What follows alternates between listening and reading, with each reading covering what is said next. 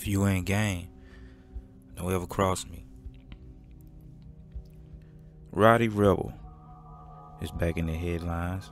And from the looks of it, the old rapper has finally hit the ground running, man. He's finally been free from the prison system, supposedly.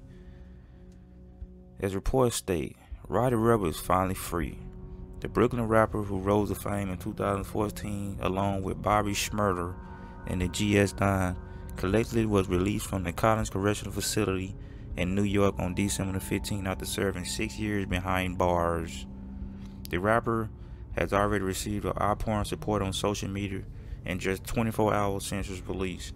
There has still have been people that don't know Rowdy's background or affiliation in rap. Let's get to Roddy Roddy Roddy Piper, Roddy, Roddy. This guy, man, got to be a clone, man. And I'm gonna tell you about this. They say he been in prison system for six years, right? This dude hasn't been in the prison.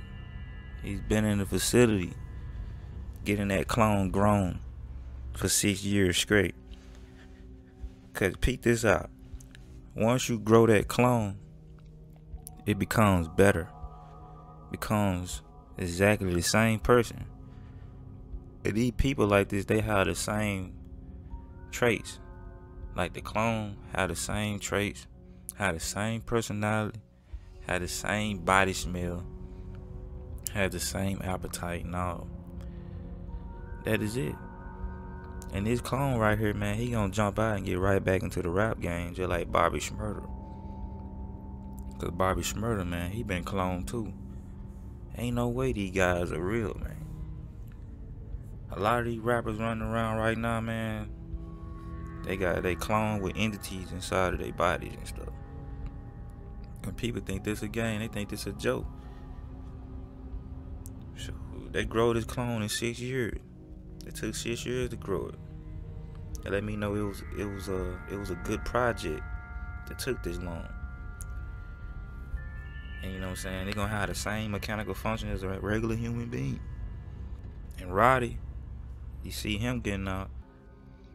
Next gonna be Bobby. Cause I'm pretty sure his his clone is almost complete. Like a Dragon Ball Z fusion, bro. For real. And people be like, oh, you lying, you lying, you lying, okay. Believe that, believe what you want to believe. Y'all people walking amongst fake people, man. Y'all don't even know what's real and what's not. It could be people right next to you, freaking robots walking around talking to you like they real human beings. Some of y'all could be robots on my channel. Coming in the comment box. I don't know. There's a lot of fake snack going on around here in 2020 and 2021 coming up in this year. People falling dead. People have malfunctions basketball players falling out, running backs having heart attacks at young ages, you let me know. Y'all don't see nothing strange going around in this world. The Rona out here, supposedly. it only gonna get worse from here on out. People want to sit back and laugh and giggle. Hey, like I said, man none of us gonna be laughing at the end.